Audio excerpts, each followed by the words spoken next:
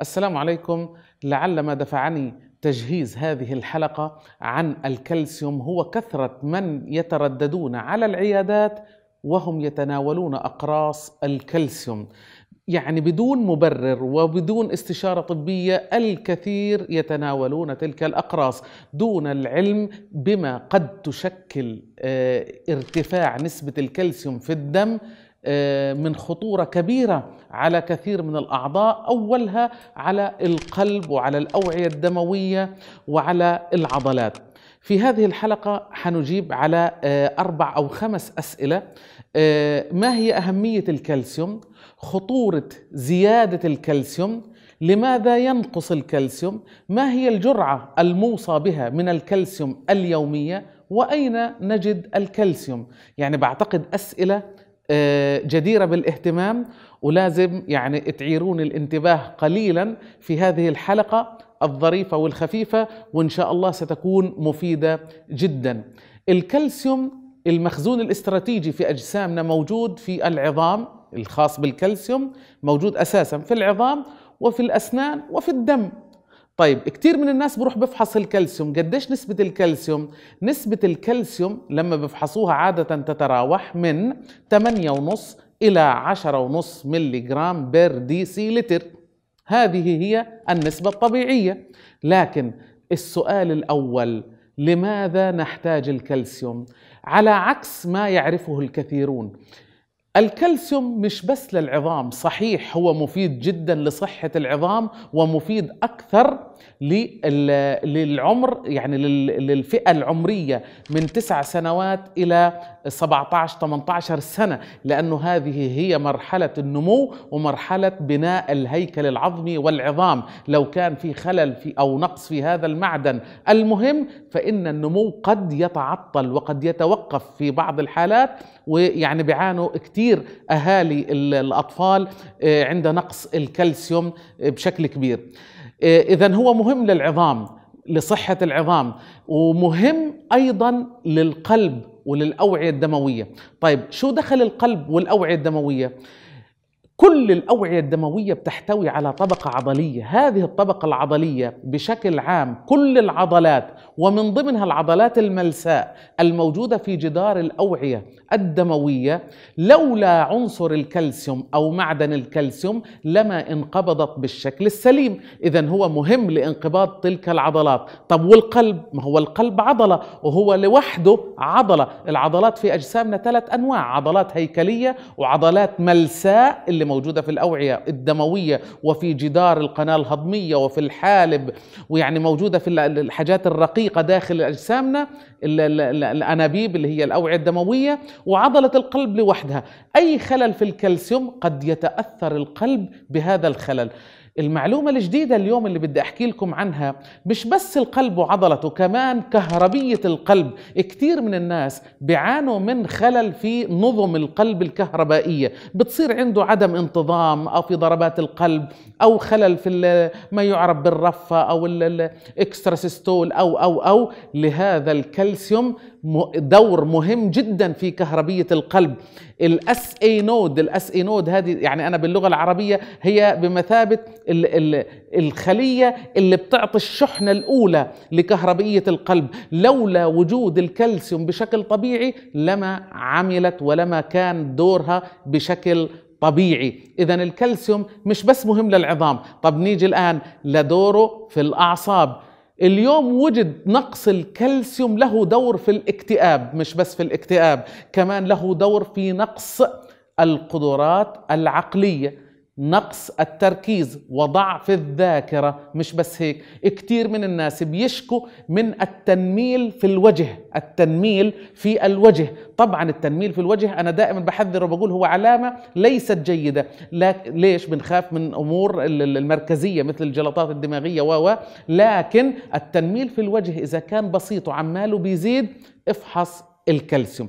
إذا الكالسيوم مش بس مهم للعظام وليونة العظام وهشاشة العظام رغم أهميته لكن له دور كبير مهم. كتير من الستات آه بيجوا بيشكوا والله يا دكتور بصير عندي تقلص عضلي بالذات في ربلة الساق أو في بطة الساق وهذه التقلصات عادة ما تحدث آه، مع ساعات الفجر الأولى مع ساعات الصباح والإنسان بكون نايم. على طول بنقول لهم إيش؟ افحصوا الكالسيوم. الكالسيوم مهم الكالسيوم مهم يعني إحنا ما بنستغني عنه معدن مهم لأمور كثيرة لكن ليس أولها العظام ولا آخرها القلب ولا الأوعية الدموية ولا العضلات يعني فوائده كثيرة جدا. طب شو اللي بيخلي الكالسيوم ينقص في أجسامنا؟ شوفوا أول شيء هو نقص الأغذية اللي بنتناولها وما أكثر الأغذية التي تحتوي على الكالسيوم. أنا ما بدي أعدلكم يعني الآن الأغذية وإن كانت يعني حأذكر بعض منها. على رأسها مثلا السمسم غني جدا بالكالسيوم.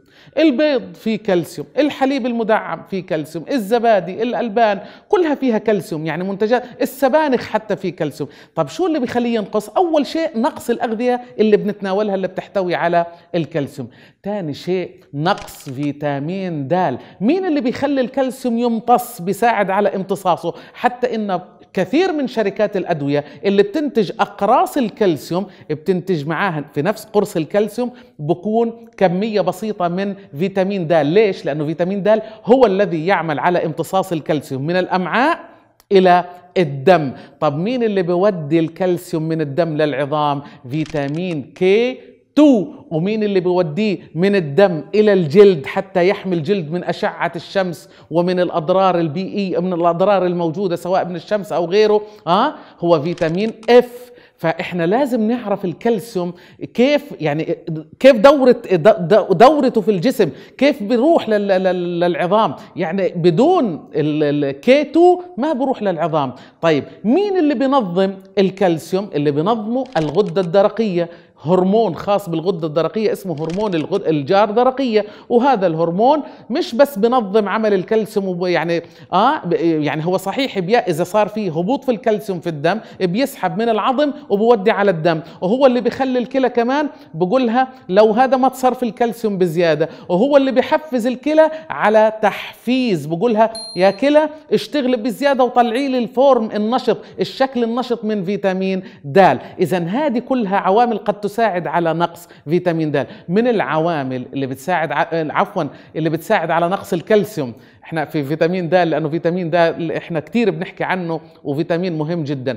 من العوامل اللي بتساعد على نقص الكالسيوم هو السن. كثير من الستات بعد سن 50 سنة يعني بيعانوا من اضطراب في الهرمونات. الهرمونات هذه بتعمل على ضعف نسبة الكالسيوم في الدم وبصير في سحب من الكالسيوم من العظام إلى الدم وبالتالي بصير في هشاشة أحيانا. علشان هيك بنوصي الستات إنهم دائما ياخذوا الكالسيوم لكن ياخذوه مش بعد السن هذه. لا أنا دائما بقول يا ريت الستات يركزوا في السن في الفترة من 20 سنة إلى 50 سنة. في الفترة هذه لازم ياخذوا الكالسيوم بشكل كويس حتى يكون في مخزون استراتيجي في العظام.